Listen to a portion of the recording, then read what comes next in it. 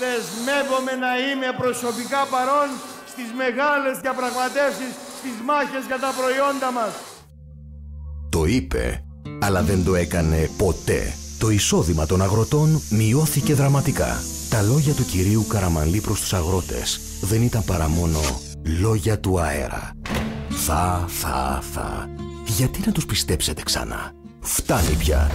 Μαζί για τη νίκη και τη νέα αλλαγή. Πασόκ. Σιγουριά. Ελπίδα. Προοπτική.